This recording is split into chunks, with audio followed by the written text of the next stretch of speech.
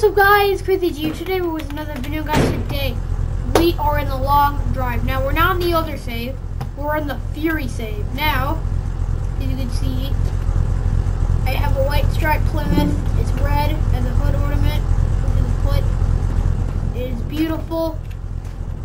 And then I have this guy. I don't know another name, probably named Fred.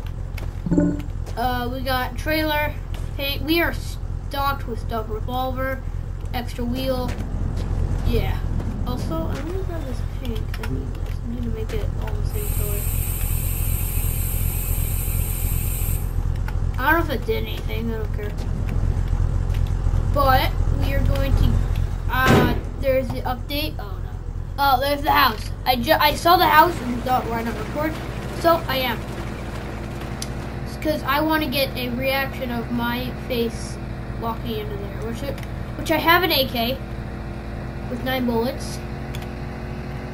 So, which is nice, and I like that I have a gun, so I can kill them. And I have a lot of magazines in my uh, glove box. Fred's just hanging out. So, yeah. Also, I also put the seats in the back for fun, because why not one? Also, I spawned in once. I, I spawned, I, I reloaded one of my saves. I got a trailer. Like one of those like camper trailer things.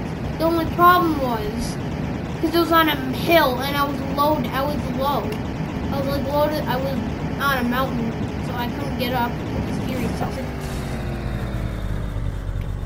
What broke off? Oh, it's just, oh, the hubcap too. Which one? I think it was, Oh, hit the freaking brake. Come on. Oh, I hate this. I hate doing this. No, what did I just break? I stop grabbing it. All right, well I gotta fix that.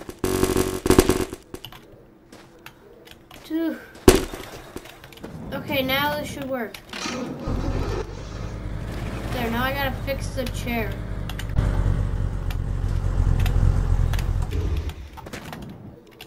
And grab the hubcap.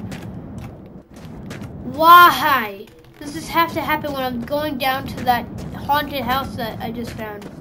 Fred is in a comfort. I don't think is in a nice, comfortable position. Now I gotta fix it. Now I gotta fix this stupid chair.